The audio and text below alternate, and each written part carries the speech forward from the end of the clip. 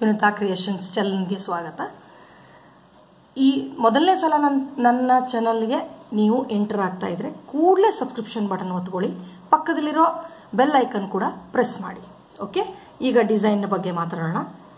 ಇದು ಒಂದು simple, sober, cute ಆಗಿರೋದು ಒಂದು ಡಿಸೈನು ಈ ರೀತಿಯಾಗಿದೆ.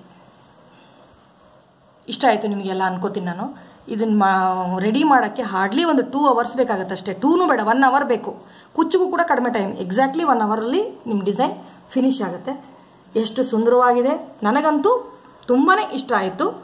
ನಿಮಗೂ ಕೂಡ ಇಷ್ಟ ಆಗುತ್ತೆ ಅಂತ ಖಂಡಿತ ನನಗೆ ಭರವಸೆ ಇದೆ. ಓಕೆ ಸೊ ನೋಡ್ತಾ ಇದ್ರಿ, ಈ ಬಿಗ್ ಬೀಡ್ ಮತ್ತು ಸ್ಮಾಲ್ ಬೀಡ್ ಇಂದ ಇದನ್ನ ಮಾಡಿರೋದು ಈ ಪ್ಯಾಟ್ರನ್ನು ಆಮೇಲೆ ಮಧ್ಯ ಮಧ್ಯದಲ್ಲಿ ಸ್ವಲ್ಪ ಟ್ಯಾಸಲ್ ಹಾಕಿದ್ದೀವಿ ಟ್ಯಾಸಲ್ ಲೆಂತ್ ಸ್ವಲ್ಪ ಉದ್ದ ಇಟ್ಕೊಂಡಿದ್ದೀವಿ ಯಾಕೆಂದರೆ ಇದು ಲೆಂತ್ ಕಡಿಮೆ ಇದೆಯಲ್ಲ ಪ್ಯಾಟ್ರನ್ದು ಅದಕ್ಕೆ ಉದ್ದ ಟ್ಯಾಸಲ್ ಇರಲಿ ಅಂತ ನಾನು ಹೇಳಿದ್ದು. ಲೆನ್ ಆರ್ಚಸ್ ಇದ್ದರೆ ಈ ನಿಮ್ಮದು ಕ್ರೋಶೆಟ್ ಪ್ಯಾಟ್ರನ್ನು ಲೆಂತ್ ಉದ್ದ ಇದ್ದರೆ ಕುಚ್ಚು ಚಿಕ್ಕದಿದ್ರೂ ಪರವಾಗಿಲ್ಲ. ಈ, ಈ- ರೀತಿ ಟ್ಯಾಸಲ್ಸ್ ಚೆನ್ನಾಗಿ ಕಾಣುತ್ತೆ ಅಂತ ನನಗನ್ನಿಸ್ತು. ಅದಕ್ಕೆ ಈ ರೀತಿ ಇಟ್ಟಿದ್ದೀನಿ. ಇಲ್ಲಾಂದರೆ ಒಂದು ಹಿಡನ್ ಬೀಡ್ ಇಟ್ಟು ಇನ್ನೊಂದು ಕೂಡ ಕಟ್ಟಬಹುದು ಅಥವಾ ಮೇಲ್ಗಡೆ ಫ್ಲವರ್ ಬೀಡ್ ಕೂಡ ಇಡ್ಬೋದು. ನಾನು ಹಿಂದಿನ ನನ್ನ ವಿಡಿಯೋದಲ್ಲಿ ತೋರಿಸಿದ್ದೆ. ಮೇಲ್ಗಡೆ ಫ್ಲವರ್ ಬೀಡ್ ಕೂಡ ಇಡ್ಬೋದು. ನಿಮ್ಮ ಚಾಯ್ಸ್ ಓಕೆ ಸೊ ಬೀಡ್ಗಳ ಆಯ್ಕೆ ನಿಮ್ಮದೇ ಸ್ನೇಹಿತರೆ ಮತ್ತೊಂದು ಸಲ ನಾನು ಹೇಳ್ತೀನಿ. ಈ ತುಂಬ ಬೀಡ್ಸನ್ನು ಉಪಯೋಗಿಸ್ತಾ ಇರೋದ್ರಿಂದ ಕ್ರಿಸ್ಟಲ್ ಬೀಡು ಬೇಡ. ಮತ್ತೊಂದು ಸಲ ಹೇಳ್ತೀನಿ. ಕ್ರಿಸ್ಟಲ್ ಬೀಡ್ ಆದರೆ ಹೆವಿ ಆಗೋದು ಬಿಡುತ್ತೆ. ಸೊ ಈ ಶೈನಿಂಗ್ ಇರೋ ಬೀಡ್ಸು ಇದು ಲಾಂಗ್ ಲಾಸ್ಟಿಂಗ್ ಇರುತ್ತೆ, ಬಣ್ಣ ಹೋಗಲ್ಲ.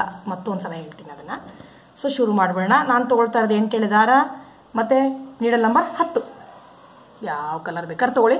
ಬಟ್ ಈ ಡಿಸೈನ್ಗೆ ಒಂದೇ ಒಂದು ನೀವು ಗಮನದಲ್ಲಿ ಇಡಬೇಕಾಗಿದ್ರೆ ಎಕ್ಸಾಕ್ಟ್ಲಿ ಆಪೋಸಿಟ್ ಕಲರ್ ಈ ಪ್ಯಾಟರ್ನ್ ಇರಬೇಕು. ಎಕ್ಸಾಕ್ಟ್ಲಿ ಆಪೋಸಿಟ್ ಕಲರ್ ಅಂದರೆ ಕಾಂಟ್ರಾಸ್ಟ್ ಕಲರಲ್ಲಿ ಇದ್ದರೆ ಮಾತ್ರ ಇದು ಇಷ್ಟು ಚೆನ್ನಾಗಿ ಕಾಣ್ತಾ ಇದೆ ಅಲ್ವಾ? ಅಷ್ಟೇ ಚೆನ್ನಾಗಿ ಕಾಣುತ್ತೆ. ಓಕೆ ಸೊ ಒನ್ ಅವರಲ್ಲಿ ನಿಮ್ಮ ಡಿಸೈನ್ ಕಂಪ್ಲೀಟ್ ಆಗಿ ಹೋಗುತ್ತೆ. ಸೂಜಿ ಒಂದು ಸಲ ತೊಗೊಳ್ತೀರಾ? ಇನ್ನೊಂದು ಸಲ ತೊಗೊಂಡ್ರೆ ಲಾಕ್ ಆಗುತ್ತೆ. ಇನ್ನೊಂದು ಸಲ ತೊಗೊಳ್ಳಿ. ಓಕೆ ಸರಿ. ಇದಾದ ನಂತರ ಎರಡು ಹಾಫ್ ಡಬಲ್ ಕ್ರೋಶಿಗಳನ್ನ ಹಾಕ್ಕೊಳ್ಳಿ ಸ್ನೇಹಿತರೆ. ಹಾಫ್ ಡಬಲ್ ಕ್ರೋಶಿ ಅಂದ್ರೆ ಗೊತ್ತಿದೆಯಲ್ಲ?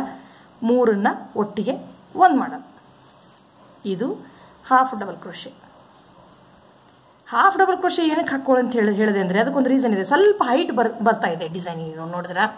ಬರೀ ನೀವು ಸಿಂಗಲ್ ಕ್ರೋಶೆಟ್ ಹಾಕೊಂಡ್ಬಿಟ್ರೆ ಅದು ಫ್ಲ್ಯಾಟ್ ಆಗೋಗುತ್ತೆ ಇಷ್ಟು ಹೈಟ್ ಆಗಿ ಡಿಸೈನ್ ನಿಮ್ಗೆ ಬರೋಲ್ಲ.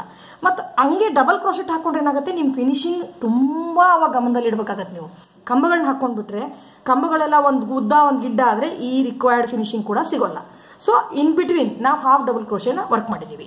ಸಿಂಗಲ್ ಕ್ರೋಶೆನೂ ಅಲ್ಲ ಡಬಲ್ ಕ್ರೋಶೆನೂ ಅಲ್ಲ ಹಾಫ್ ಡಬಲ್ ಕ್ರೋಶೆ ಸೊ ಒಂದು ಹಾಫ್ ಡಬಲ್ ಕ್ರೋಶೆ ಆಯಿತು. ಎಕ್ಸಾಕ್ಟ್ ಕಾಂಟ್ರಾಸ್ಟ್ ಕಲರ್ ಮಾಡಿ ಈ ರೆಡ್ ಮಾಡ್ತಾ ಇದ್ದೀನಿ ತುಂಬ ಚೆನ್ನಾಗಿ ಕಾಣ್ತಾ ಇದೆ. ಇನ್ನೊಂದು ಹಾಫ್ ಡಬಲ್ ಕ್ರೋಶೆ ವರ್ಕ್ ಮಾಡಿ. ಓಕೆ ಸೊ ಎರಡು ಹಾಫ್ ಡಬಲ್ ಕ್ರೋಶೆಗಳನ್ನ ವರ್ಕ್ ಮಾಡಿದ್ಮೇಲೆ, ಒಂದು ಚಿಕ್ಕ ಬೀಡು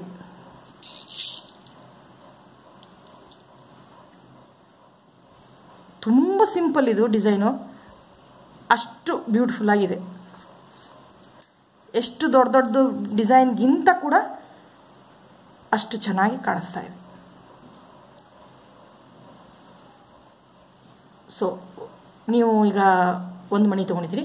ಮತ್ತೆ ಎರಡು ಹಾಫ್ ಡಬಲ್ ಕ್ರೋಶೆಗಳು ಮಣಿನ ಲಾಕ್ ಮಾಡ್ಕೋಬೇಡಿ, ಹಾಗೆ ಕಂಟಿನ್ಯೂ ಮಾಡಿ. ಸ್ಲೋ ಆಗಿ ಮಾಡಿ, ಯಾಕಂದರೆ ಸ್ವಲ್ಪ ಟೈಟ್ ಬರುತ್ತೆ. ಒಂದು ಹಾಫ್ ಡಬಲ್ ಕ್ರೋಶೆ ಇನ್ನೊಂದು ಹಾಫ್ ಡಬಲ್ ಕ್ರೋಶೆ ಆಯಿತಾ? ಫಸ್ಟು ಎರಡು ಹಾಫ್ ಡಬಲ್ ಕ್ರೋಶೆ ಒಂದು ಮಣಿ ತೊಗೊಂಡಿದ್ದೀರಿ, ಮತ್ತೆ ಎರಡು ಹಾಫ್ ಡಬಲ್ ಕ್ರೋಶೆ ಈಗ ದೊಡ್ಡ ಮಣಿ ತಗೊಳ್ಳಿ.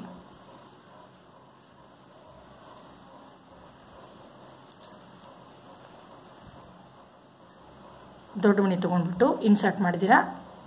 ಲಾಕ್ ಚಿಕ್ಕ ಮಣಿಗೆ ಲಾಕ್ ಮಾಡೋದು ಬೇಡ, ದೊಡ್ಡ ಮಣಿಗೆ ಮಾತ್ರ ಲಾಕ್ ಮಾಡಿ. ಈಗ ಮತ್ತೆ ಅದರ ಜಾಗಕ್ಕೆ ನೋಡಿಕೊಂಡು ಭಾಳ ದೂರ ಹೋಗಬೇಡಿ. ಮತ್ತೊಂದು ಹಾಫ್ ಡಬಲ್ ಕ್ರೋಶೆ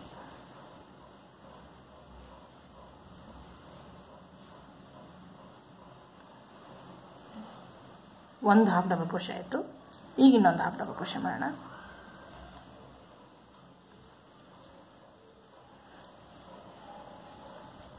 ನೋಡಿ, ಈಗ ಚಿಕ್ಕ ಮಣಿ. ಪ್ಯಾಟ್ರನ್ ಫಾಲೋ ಆಯಿತು ಅನ್ಕೋತೀನಿ.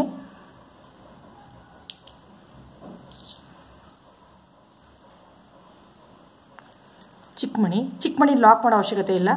ಹಾಗೆ ಎರಡು ಹಾಫ್ ಡಬಲ್ ಕೃಷಿ ತೊಗೊಳ್ಳಿ. ಒಂದು ತೊಗೋತಾ ಇದ್ದೀನಿ ಈಗ. ಒಂದು. ಎರಡು.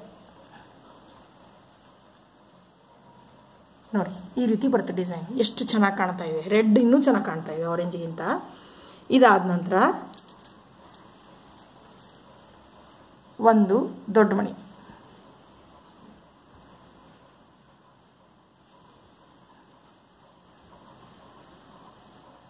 ಒಂದು ದಾರ ಬಿಟ್ಟು ಹೋದರೂ ಅದನ್ನು ನೆಕ್ಸ್ಟ್ ನೀವು ಲಾಕ್ ಮಾಡ್ತಿರಲ್ವಾ? ಅವಾಗ ಸೇರಿಸ್ಕೋಬೋದು ತೊಂದರೆ ಇಲ್ಲ. ಹಾಂ. ಈಗ ಮತ್ತೆ ಎರಡು ಡಬಲ್ ಕ್ರೋಶೆಗಳು ಮಣಿನ ಲಾಕ್ ಮಾಡ್ತೀರಾ? ದೊಡ್ಡ ಮಣಿನ ಲಾಕ್ ಮಾಡಿದ್ದೀರಾ ಸ್ನೇಹಿತರೆ ಸ್ಲೋ ಆಗಿ ಹೇಳ್ತಾ ಇದ್ದೀನಿ. ಮತ್ತೆ ಎರಡು ಹಾಫ್ ಡಬಲ್ ಕ್ರೋಶೆಗಳು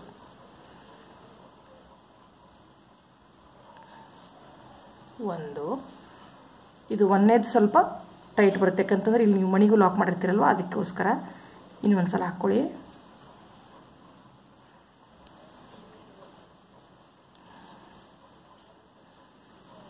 ಅದು ಲೂಸಾಗಿ ಹಾಕಬಾರ್ದು ಡಿಸೈನು ಅಂದರೆ ಚೆನ್ನಾಗಿರಲ್ಲ. ಟೈಟಾಗಿರ್ಬೇಕು ಮಣಿಗಳು. ಅಂದರೆ ಮಾತ್ರ ಚೆನ್ನಾಗಿರುತ್ತೆ. ಓಕೆ ಈಗ ಮತ್ತೊಂದು ಹಾಫ್ ಡಬಲ್ ಕ್ರೋಶೆ ನೋಡಿ, ಒಂದು ಚಿಕ್ಕ ಮಣಿ, ಎರಡು ಹಾಫ್ ಡಬಲ್ ಕ್ರೋಶೆ ದೊಡ್ಡ ಮಣಿ, ಎರಡು ಹಾಫ್ ಡಬಲ್ ಕ್ರೋಶೆ ಒಂದು ಚಿಕ್ಕ ಮಣಿ, ಎರಡು ಹಾಫ್ ಡಬಲ್ ಕ್ರೋಶೆ ಮತ್ತು ದೊಡ್ಡ ಮಣಿ, ಎರಡು ಹಾಫ್ ಡಬಲ್ ಕ್ರೋಶೆಗಳು ಮತ್ತೆ ಚಿಕ್ಕ ಮಾಡಿ.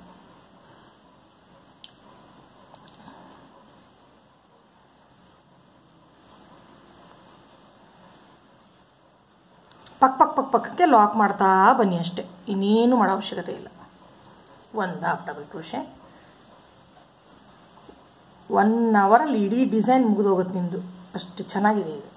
ನೋಡಿ ಎರಡಾಯಿತು ಈಗ ನಾಲ್ಕು ಸ್ಪೇಸಿಂಗ್ ಚೈನ್ ತೊಗೊಂಡ್ರೆ ಇಲ್ಲಿ ಕುಚ್ಚು ಕಟ್ಬೋದು. ನಾನೇನು ಮಾಡಿದ್ದೀನಿ ಮೂರು ಬ್ಲಾಕ್ ಮಾಡಿದ್ದೀನಿ ನೋಡಿ. ಒಂದು, ಎರಡು, ಮೂರು. ಒಂದು, ಎರಡು, ಮೂರು ಆದಮೇಲೆ ನಾನು ಕುಚ್ಚು ಕಟ್ಟಿರೋದು. ಸೊ ಇನ್ನೊಂದು ಮಾಡಿ ತೋರಿಸ್ತೀನಿ ನಾನು. ಇದು ಸ್ವಲ್ಪ ಉದ್ದುದ ಕುಚ್ಚು ಆಗಿರೋದ್ರಿಂದ ಸ್ವಲ್ಪ ದೂರ ದೂರ ಇರಲಿ. ಚೆನ್ನಾಗಿ ಕಾಣುತ್ತೆ ಅವಾಗ.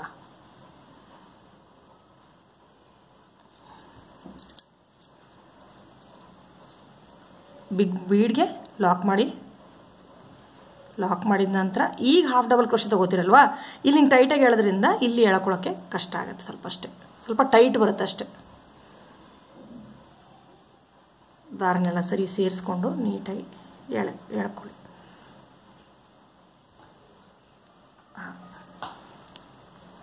ಆಯಿತು. ಈಗ ಇನ್ನೊಂದು ಹಾಫ್ ಡಬಲ್ ಕ್ರೋಶೆ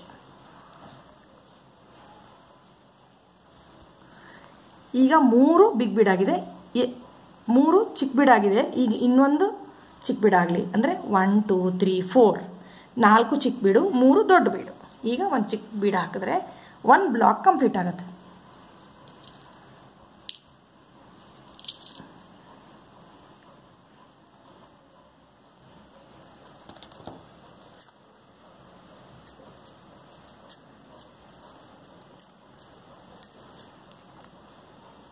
ಈಗ ಲಾಕ್ ಮಾಡ್ಕೊಳ್ಳೋದು ಬೇಡ, ಚಿಕ್ಕ ಬೀಡಿಗೆ.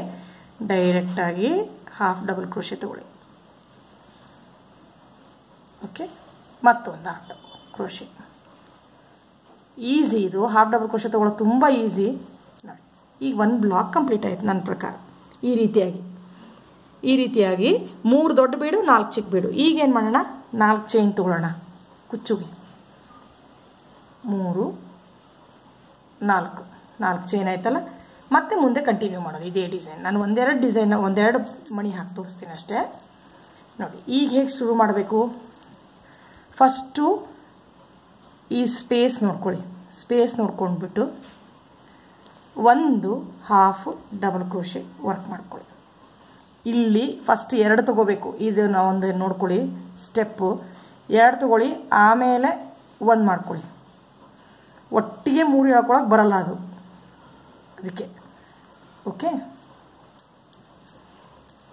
ಒಂದು ನಿಮಿಷ ಇನ್ನೊಂದು ಸಲ ತೋರಿಸ್ತೀನಿ ನೋಡಿ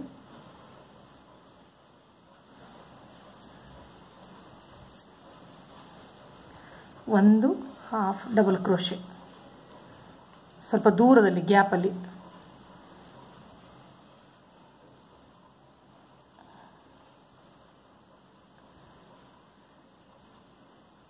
ಕಂಬ ಹಾಕೊಂಡ್ಬಿಡ್ಬೇಡಿ ಎತ್ತರ ಆಗ್ಬಿಡುತ್ತೆ ತೋರಿಸ್ತೀನಿ ನೋಡಿ ಇನ್ನೊಂದ್ಸಲ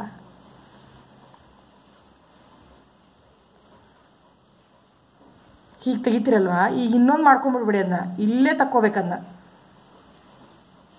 ಸ್ಲಿಪ್ ಮಾಡ್ಕೋಬೇಕು. ಇಲ್ಲಾಂದರೆ ಎತ್ತರ ಆಗ್ಬಿಡುತ್ತೆ. ಆ ಡಬಲ್ ಕ್ರೋಶೆ ಆಗ್ಬಿಡುತ್ತೆ ಆಮೇಲೆ. ಕಷ್ಟ ಆಗುತ್ತೆ ನಿಮಗೆ ತೆಗಿಯೋಕ್ಕೆ. ಸೊ ಒನ್ ಡಬಲ್ ಕ್ರೋಶೆ ಆಯಿತು. ಈ ಇನ್ನೊಂದು ಡಬಲ್ ಕ್ರೋಶೆ ಎರಡು ಡಬಲ್ ಕ್ರೋಶೆ ಆದಮೇಲೆ ಮತ್ತೆ ಅದೇ ಫಾಲೋ ಮಾಡಿ. ಎರಡು ಮಣಿ ಹಾಕಿ ತೋರಿಸ್ತೀನಿ ನಾನು ನಿಮಗೆ. ಒಂದು big bead small bead first small bead bead lock ಬೇಡ, ಎರಡು ಡಬಲ್ ಕ್ರೋಶೆ ಒಂದು, ಎರಡು. ಆಮೇಲೆ ಬಿಗ್ ಬೀಡ್ ಲಾಕ್ ಮಾಡಬೇಕು. ಬಿಗ್ ಬೀಡಿಗೆ ಲಾಕ್ ಮಾಡಿ ಎರಡು ಡಬಲ್ ಕ್ರೋಶೆ ತೊಗೊಳ್ಳಿ. ಸ್ವಲ್ಪ ಜಾಗ ಜಾಸ್ತಿ ಬಿಟ್ಕೊಳ್ಳಿ ಭಾಳ ಬಿಟ್ಕೊಡ್ಬೇಡಿ. ಕಿಂಡಿ ಕಿಂಡಿ ಕಿಂಡಿ ಥರ ಕಾಣುತ್ತೆ. ಚೂರೇ ಚೂರು. ಅಂದರೆ ಅದು ಎಷ್ಟು ಬೇಕೋ ಅಷ್ಟು ಗೊತ್ತಾಗತ್ತೆ. ಒಂದು ಎರಡು ಮಣಿ ಹಾಕಿದ ತಕ್ಷಣ ನಿಮ್ಗೆ ಖಂಡಿತ ಗೊತ್ತಾಗುತ್ತೆ. ಎಷ್ಟು ಜಾಗ ಬೇಕಾಗತ್ತೆ ಅಂತ ಅದಕ್ಕೆ ಅಷ್ಟು ಬಿಟ್ಟರೆ ಆಯಿತು. ಒಂದೆರಡು ಮಣಿ ಹಾಕೋದ್ರಲ್ಲಿ ನಿಮ್ಗೆ ಗೊತ್ತಾಗೋಗುತ್ತೆ ಜಾಗ ಎಷ್ಟು ಬೇಕು ಅಂತ. ಅಷ್ಟು ಮಣಿ ಹಾಕ್ಕೊಂಡ್ರೆ ಆಯಿತು. ಒಂದು ಹಾಫ್ ಡಬಲ್ ಕ್ರೋಶೆ ಟೈಟಾಗಿ ಇಟ್ಕೊಳ್ಳಿ ಇನ್ನೊಂದು ಹಾಫ್ ಡಬಲ್ ಕ್ರೋಶೆ ನೋಡಿ. ಈಗ ಲಾಸ್ಟ್ ಇನ್ನೊಂದು ಚಿಕ್ಕ ಮಣಿ ತೋರಿಸ್ತೀನಿ.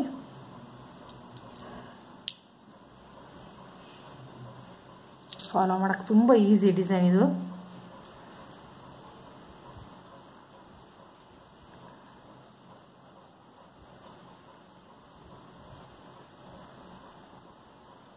ಮಣಿನ ಲಾಕ್ ಮಾಡೋದು ಬೇಡ ಚಿಕ್ಕ ಮಣಿನ. ಹಾಗೆ ಎರಡು ಹಾಫ್ ಡಬಲ್ ಕ್ರೋಶಿಗಳನ್ನ ವರ್ಕ್ ಮಾಡ್ಕೊಳ್ಳಿ ಒಂದು, ಎರಡು.